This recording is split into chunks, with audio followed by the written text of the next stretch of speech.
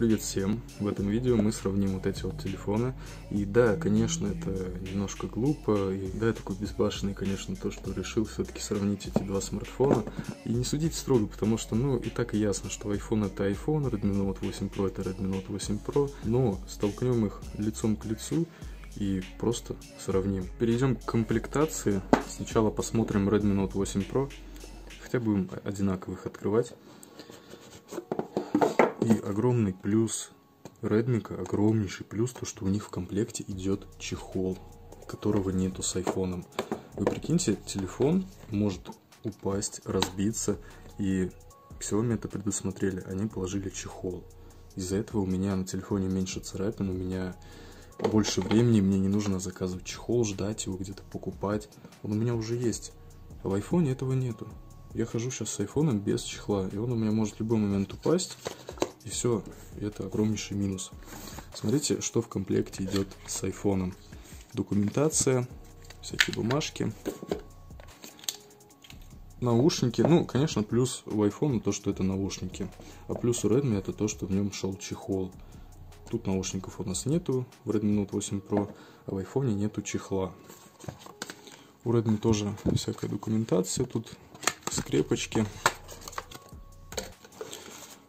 У меня привычка сохранять все вот эти штуки. Не знаю зачем. Добавляем еще один огромнейший плюс в сторону Redmi Note 8 Pro. Это то, что с ним идет огромнейший блок питания. Он очень мощный. Вы просто сравните их по толщине. Насколько больше и мощнее блок питания у Redmi Note 8 Pro. И у нас есть Qualcomm Quick Charge. Быстрая зарядка. Телефон у меня заряжается вообще быстро а iPhone реально заряжается намного дольше из-за того, что тут какая-то дешевая, ну реально дешевая, дешевый блок питания. У меня такой же есть от китайского iPhone SE. Сейчас это даже покажу.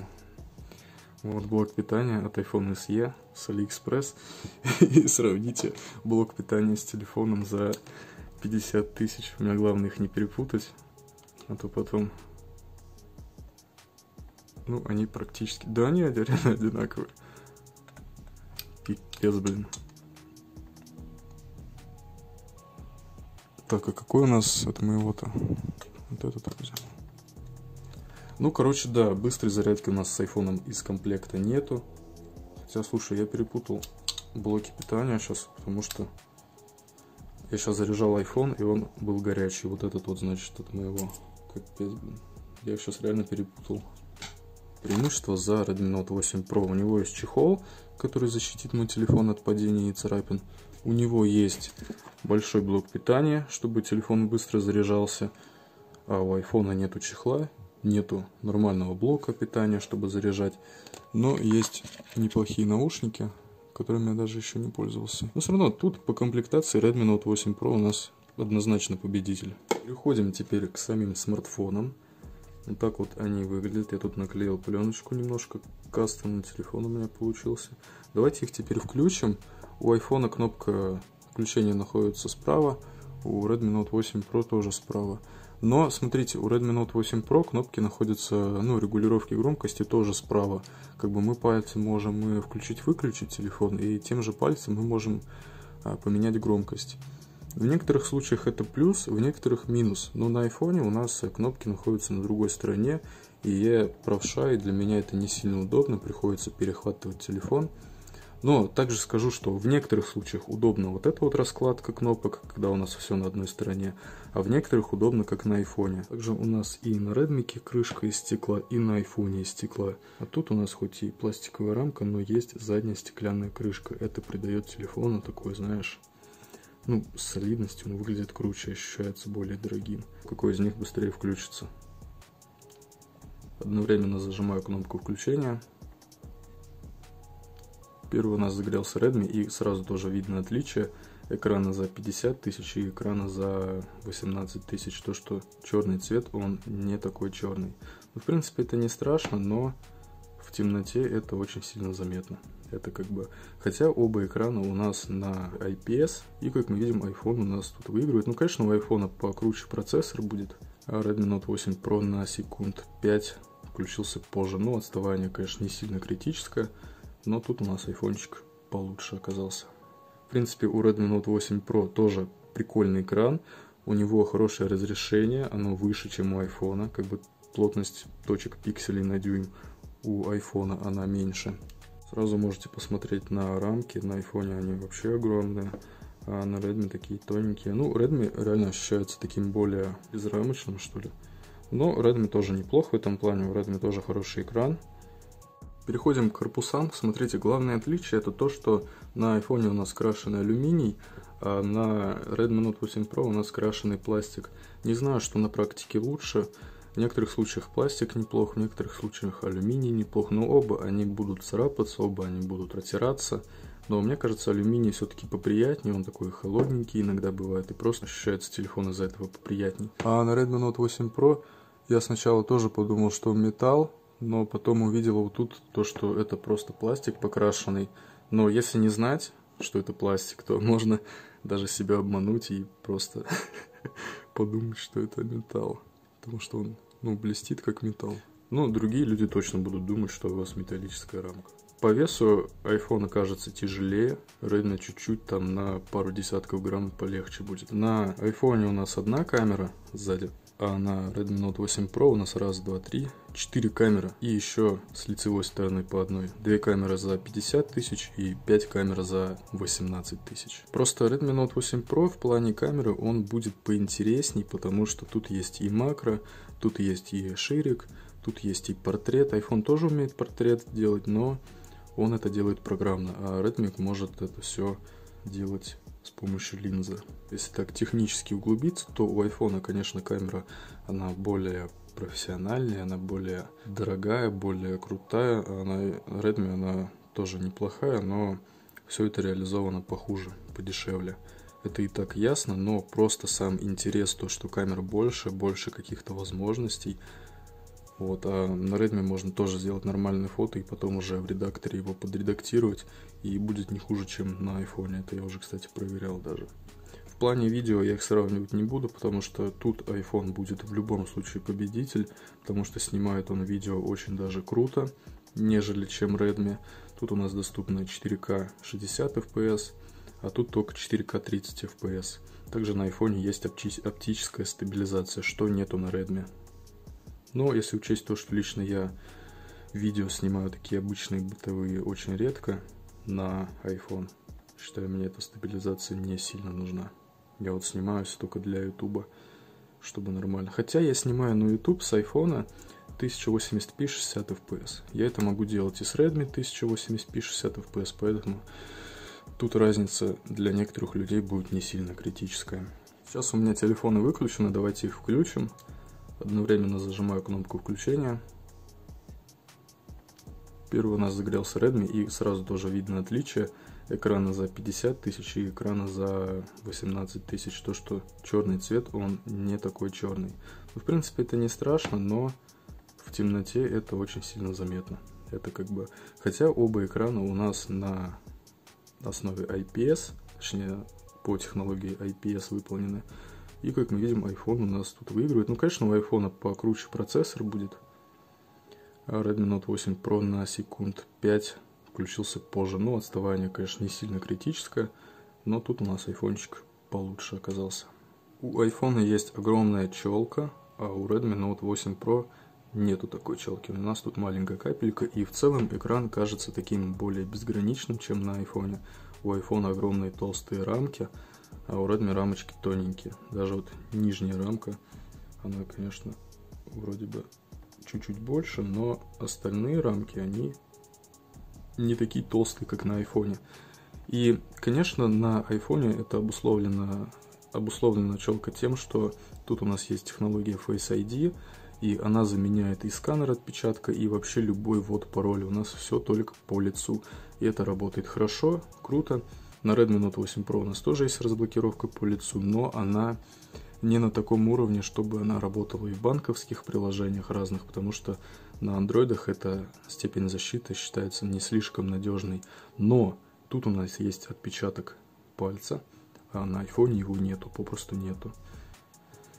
Вот, не знаю, на айфоне просто нету выбора, а на Redmi Note 8 Pro у нас есть выбор или сканером пользоваться, или разблокировкой по лицу. Не всегда это удобно, но это есть. Посмотрим сами экраны по яркости, кто у нас будет ярче на белом цвете. Но я думаю все-таки, что это будет iPhone, и так ясно, что на iPhone экран будет покруче по своим технологиям. Но смотрите, не знаю, видно вам или нет, но вживую видно то, что на iPhone экран он поярче, понасыщенней, а Redmi Note 8 Pro такой более тусклый. Но, блин, разница 30 тысяч переплата вот за эти экраны 30 тысяч рублей. Я бы не сказал, что тут настолько критическая разница. В принципе, к экрану на Redmi ты быстро привыкаешь. Давайте теперь на белом посмотрим чисто самую минимальную яркость, которую можно выбрать, потому что я иногда ночью пользуюсь телефонами. И на самой минимальной яркости им достаточно комфортно пользоваться. Вот, сравните, посмотрите.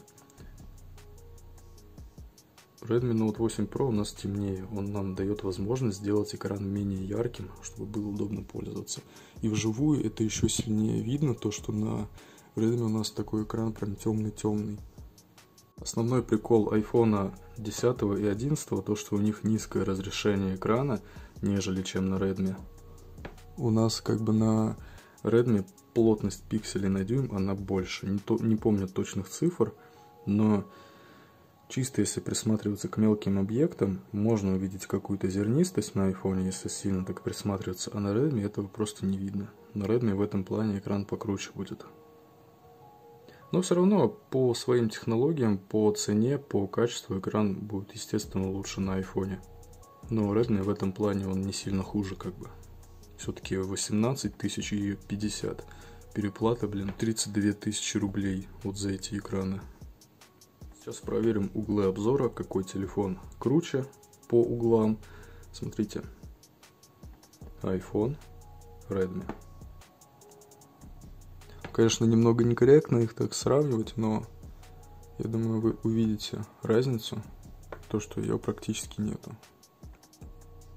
Чисто на глаз, если смотреть, то Redmi, он более искажает цвета, чем iPhone. На iPhone они такие остаются при любом угле одинаковые. А Redmi, он немножко искажает цвета, какая-то подсветка видна. А на iPhone в этом плане лучше. Но если чисто смотреть на информацию на экране, то она остается и никак практически не искажается. Из-за этого тут, в принципе, в принципе, ну, понятно, что iPhone лучше будет, но Redmi, он хуже, ну, просто на чуть-чуть. Всегда надо держать в голове то, что переплата между ними 30 тысяч рублей. Даже на просто 30 тысяч рублей можно купить охрененный Android на эту переплату. Также, что входит в копилку плюсов у Redmi Note 8 Pro по сравнению с iPhone, это то, что у него комбинированный лоток сим-карт. Можно вставить одну сим-карту и одну флешку, либо две сим-карты без флешки. А на iPhone просто можно вставить одну сим-карту. Но iPhone в этом плане тоже не сильно отстает, потому что у него есть eSIM, но в России эта технология пока что не сильно развита. Сейчас хочу рассказать про влагозащиту. На Redmi ее нету, на iPhone есть влагозащита IP67. Это означает то, что его можно, ну, грубо говоря, можно помыть под краном, на него могут попасть капли, Конечно, если Redmi упадет в воду, ему, возможно, будет конец, возможно, не будет. Но если iPhone упадет в воду, то с большей вероятностью телефон у нас выживет, и с ним все будет нормально. Его можно спокойно, там, я не знаю, под краном помыть быстренько, и ему ничего не будет. Можно просто на небольшое расстояние под воду погрузить и тоже ничего не должно быть с ним. В ютубе вообще много примеров, сам я так никогда не сделаю. Но в случае чего, если они упадут в воду, то iPhone с большей вероятностью выживет, и сэкономит вам деньги. А Redmi, скорее всего, придется уже покупать себе новый телефон. iPhone в этом плане лучше. Но помним, что этот стоит 50 тысяч, этот стоит 18. В плане прошивок и поддержки обновлений от разработчиков. Смотрите, на Redmi Note 8 Pro у меня стоит 10 самый последний Android. Его я установил неофициальным способом, сам. И на iPhone у нас стоит самая последняя прошивка. Как бы на Redmi еще прилетит официально 10 Android, потому что у меня сейчас бета стоит на 10 Android и скорее всего скоро и глобалка будет на десятке, поэтому и Redmi у нас будет поддерживать самую актуальную версию Android и iPhone. Но в плане э, своей долготы, долготы, ширины Redmi Note 8 Pro поддерживаться будет меньше. Я думаю, 11 Android он, скорее всего, не получит. Максимум 10. И на этом все закончится. А iPhone еще где-то года 3 100% будет получать самую последнюю версию. Будут прилетать какие-то обновления. На Redmi тоже, но очень и очень редко. Поэтому iPhone в плане поддержки, вы сами знаете, что лучше всего брать iPhone. Потому что даже какой-то старый iPhone SE до сих пор получает те же обновления, что и вот этот вот 10 iPhone. Ну, например, прилетает iOS там 13.1.4. И сюда тоже прилетает iOS 13.1.4. Это прикольно. Это огромный плюс в копилку айфона. И неважно какого, даже, в самого дешев... даже у самого дешевого айфона который стоит в два раза дешевле, чем Redmi. Вот он, 6 тысяч рублей, вот он, 18 тысяч рублей. Даже у этого айфона есть поддержка долгая, поддержка обновлений. Поэтому в этом плане у айфона заслуженный плюс, потому что его хватит надолго. Redmi в плане актуальности меньше, да и вообще любой смартфон на андроиде, кроме пикселя, в плане обновления он плохо. По поводу камер, да, понятно, что iPhone в плане камеры это очень даже хорошее устройство, Android в плане камеры это не самое лучшее решение, но просто если смотреть на цифры, то в Redmi у нас 64 мегапикселя, в iPhone у нас 12, как я помню, ну не больше 12, это точно. 12 мегапикселей и 64. Redmi в плане камеры смотрится достаточно таким интересным вариантом, потому что, что покупая Redmi, вы получаете кучу разных интересных фишек, там широкий угол, также модуль 64 мегапикселя. Покупая iPhone, вы просто получаете хорошие снимки, тут все так мало всяких режимов прикольных, а Redmi можно так настроить, есть тут также макрорежим, это прикольная штука на самом деле, можно просто прям мельчайшие объекты фотографировать на близком расстоянии. И в плане вот такой вот интересности, да, Redmi в этом будет плане покруче. А в плане какого-то серьезного контента, там записи видео, какие-то фотографии с большей насыщенностью, с большей реалистичностью, в этом плане iPhone будет лучше. Но он менее интересен по сравнению с Redmi. Потому что на Redmi куча всяких камер, куча всяких режимов, и это интереснее выглядит. Смотрите, я сфоткал коробки и текст, который можно разобрать детальней на Redmi. Просто посмотрите это сами своими глазами. То, что на iPhone я не могу настолько близко плюс приблизить, на Redmi я могу очень близко приблизить само фото. Также оно просто более, более детальным. Может быть на видео это не сильно заметно, но по факту, по факту, вот этот вот нижний текст на iPhone он просто размыт. А на Redmi можно даже что-то попробовать прочесть. iPhone слабее оказался, а Redmi в этом плане он выиграл, потому что у него есть 64 мегапикселя камера, которая фоткает сюда мелких деталей. Сколько раз ты говорил, я фоткал из окна машину, а машина находилась далеко, и я мог разглядеть ее номер. Хотя мои глаза, у меня зрение хорошее, но даже я глазами не вижу номера машины. А Redmi я это смог. Короче, как, как бинокль такой. Также, что касается видео, iPhone у нас умеет снимать э, в режиме 4К 60 FPS, Redmi только 4К 30 FPS. 60К, 60К, нифига. 60 FPS, конечно, круче будет. Вот, и также тут у нас есть оптическая стабилизация на iPhone, а на Redmi ее нету, есть только программная. И iPhone, ну, просто так ясно, что iPhone достаточно крут в плане видео. Даже iPhone SE, если мы сейчас сравним а, с вот этим вот Redmi, то тут камера, она может быть похуже будет, но не сильно. Потому что все iPhone, они в плане камеры очень хороши. В плане конкретно видеозаписи. Так, в плане фото сейчас я вам покажу. Я сделал парочку снимков. Смотрите, я сделал фото на фронтальную камеру с одинакового расстояния. И на Redmi камера, она больше, больший угол имеет. Просто на Redmi больше деталей влезает в само фото. На iPhone фото такое более приближенное. Мне кажется, в этом плане Redmi покруче будет то, что, ну, как будто какой-то широкий угол она имеет. Это плюс. Смотрите, в плане деталей, сейчас посмотрим, что у меня там на лице. В плане деталей. Даже не знаю, судить вам, мне кажется. А если вот чисто на глаз Вот смотря на экран телефона, с которого я записываю, мне сложно понять. А вот в реальности глазами, что я вижу. Но если в плане каких-то мелких деталей, то iPhone оказался лучше. Redmi как-то он более все смазал. Вот, и я думаю, это даже можно исправить. Тут какой-то режим бьютификации. Короче, это, я думаю, исправимо, потому что на Redmi не настолько фиговая камера, нормально она снимает тоже. Ну, смотрите, разница между этими снимками в 32 тысячи рублей. Просто. Разница 32 тысячи рублей. И разница, она не, не столь критическая. Конечно, видно, что какие-то холодные цвета у нас на Redmi, но это все поправимо в редакторе любом.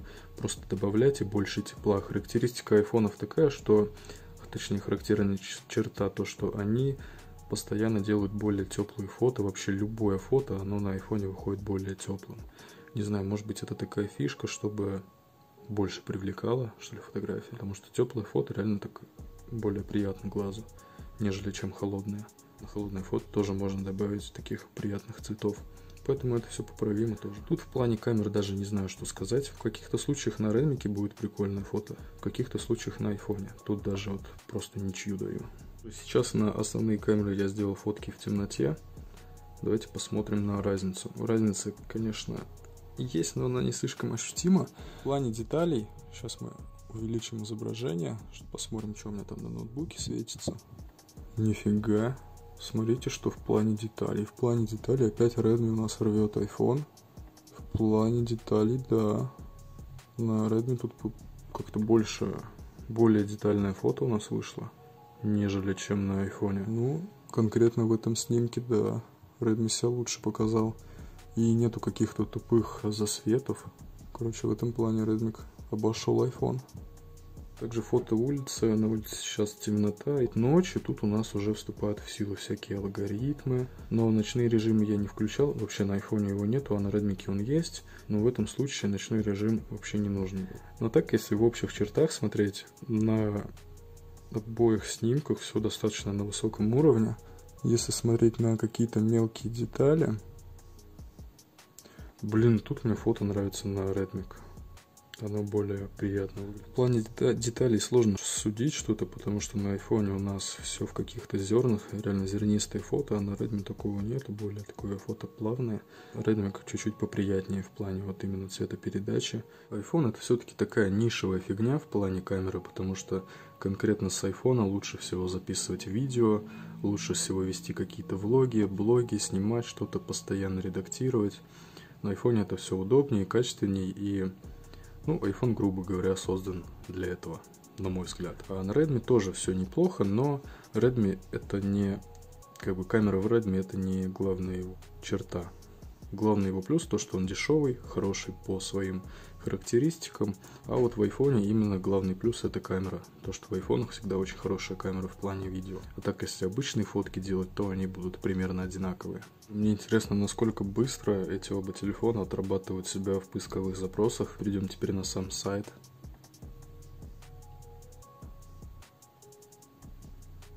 Мне кажется, на Redmi страницы загружаются просто моментально.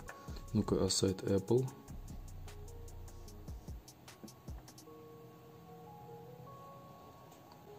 Тупо сайт Apple. Давай, iPhone, покажи, как ты заходишь на свой любимый сайт. Но тут, мне кажется, да. Хотя страница все равно на iPhone она догружалась. А на Redmi она сразу загрузилась. Просто на Redmi как-то это все открывается намного быстрее. Не знаю, с чем это связано. Может быть, на iPhone анимация это мешает. Но просто посмотрите, насколько быстрее открывает саму страничку, сам сайт iRedmi. Он это делает попросту быстрее. Ну да, Android это, это, это твой стиль. Стиль лагать непонятным образом. Давай-ка посмотрим, как он откроет Яндекс. Да, Redmi у нас оказывается быстрее. Вот это поворот. Я думал, конечно, что iPhone в этом плане будет быстрее. Ну-ка, сайт Яндекса. Тупо пока iPhone переключает анимацию, мы уже попадаем на сайт. Вот этот вот плюсик заслуживает Redmi своей скорости открытия, ну и в общем в своем быстродействии. Кстати, мы сейчас подкрываем приложение одинаковые, посмотрим, кто быстрее открывает ВКонтакте одновременно, кто быстрее загрузит. Оп, Redmi оказался быстрее. Давайте еще откроем Сбербанка, достаточно тяжелое приложение. Оп, посмотрите, как Redmi быстро его запустил. Да, вот единственный минус э, на Redmi то, что нельзя интегрировать э, сам э, сканер лица, ну точнее разблокировку по лицу в такие банковские приложения, вот только можно либо пальцем, либо пароль вводить, а на айфоне попросту нету сканера, и весь упор чисто сделан вот на эту челку, тут всякие датчики, просто лицо подношу, и все, у нас открывается Сбер. Смотрите, какой богатый. Напоследок откроем YouTube. Кто быстрее, Redmi или iPhone? Тут у нас айфончик оказался побыстрее. Короче, ситуация странная. В некоторых приложениях у нас побеждает Redmi, в некоторых побеждает iPhone. Даже не знаю, с чем это связано. Но тут я, честно скажу, не скажу, кто победитель, потому что то у меня на айфоне быстрее, то у меня на Redmi быстрее. А в плане вообще серфинга в интернете у нас Xiaomi победил, потому что он открывает... Что за волос? Потому что он открывает а, сайты быстрее, он ищет их быстрее. Вот тут уже интересно. Может быть на айфоне какие-то там анимации, из-за этого он так медленно открывает. Но чисто вот на глаз Redmi у нас в плане быстроты уж точно не хуже, даже может быть получше будет, чем iPhone. Хотя у iPhone, у iPhone, у iPhone достаточно крутой процессор даже на данное время.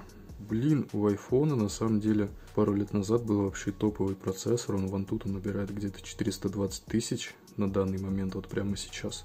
Redmi набирает 280 тысяч.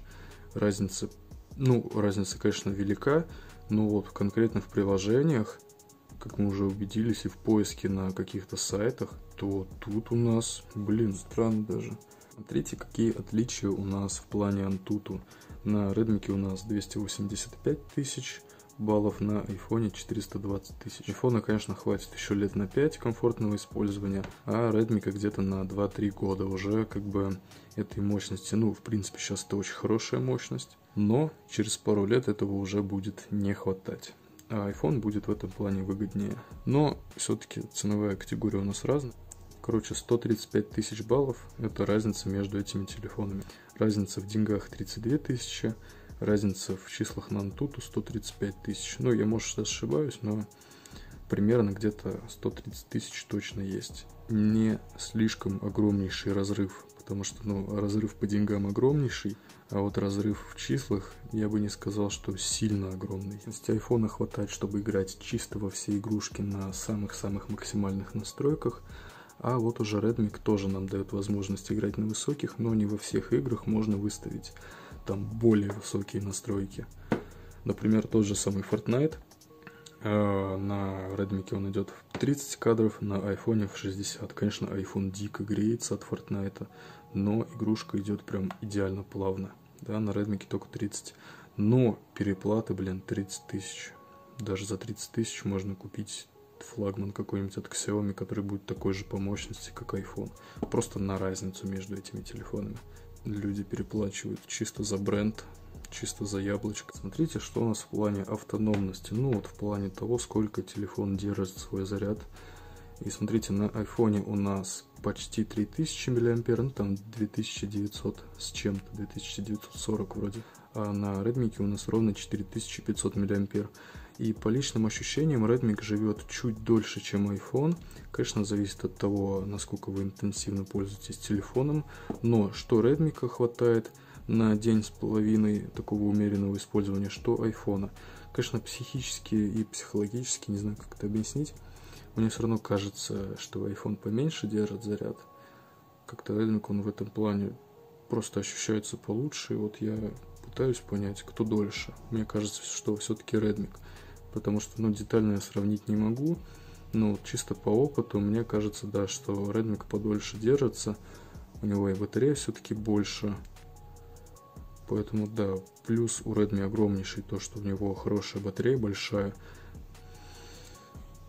Раньше все говорили, типа, в Redmi нету NFC, типа, это дешевая линейка, такая бюджетная, но смотрите, в Redmi Note 8 Pro у нас есть NFC, мы можем использовать его как кошелек для бесконтактной оплаты. И это работает, все нормально. На iPhone это тоже есть, поэтому, блин, если учесть, что Redmi у нас, грубо говоря, дешевый iPhone дорогой, и оба они имеют NFC, то, то Redmi на фоне iPhone выглядит таким молодцом, даже очень хорошим таким. Покупая Redmi Note 8 Pro, вы просто не переплачиваете за бренд, вы получаете хороший телефон, который имеет практически все те же функции, что и iPhone. Этот телефон а, может и умеет все, что умеет iPhone, кроме некоторых моментов в плане камеры, там, в плане видеосъемки. А так вы практически ничего не теряете. Да, у вас нет этого яблока, но у вас есть такой же хороший, нормальный, качественный телефон, который ничем не хуже, чем iPhone. Ну, вот в плане именно характеристик, в плане цены своей и цены качества. А так не знаю, iPhone, на мой взгляд, стоит тысяч тридцать точно. Вот тридцатку прям просто не жалко за него отдать, за iPhone XR. Ну, просто вот не жалко. Прям, ну, точно не жалко, он стоит тридцатку. А вот уже выше как-то его сомнительно брать. Ну, реально, вот именно на мой взгляд. И на этом будем заканчивать. И это видео про то, что покупая телефон за 50 тысяч и покупая телефон за 18 тысяч, вы не сильно теряете как-то какие-то функции крутые. У айфона есть море разных функций, у Redmi, оба они хорошие, и Redmi, ну, он хоть и бюджетный, но он не сильно хуже айфона. Конечно, iPhone, да, лучше в некоторых моментах в плане камеры, в плане там корпуса, зато у Redmi есть быстрая зарядка уже в комплекте, есть чехол, который нам изначально дается, есть море разных камер, разные там искусственные интеллекты, а на iPhone просто хорошая камера, качественная, хорошо записывает видео, намного лучше, чем на Redmi, это даже, ну, глупо отрицать что айфоны, они все равно, мне кажется, больше для видеосъемки как бы созданы. На них это все очень круто реализовано. А на Redmi это как-то все недопилено.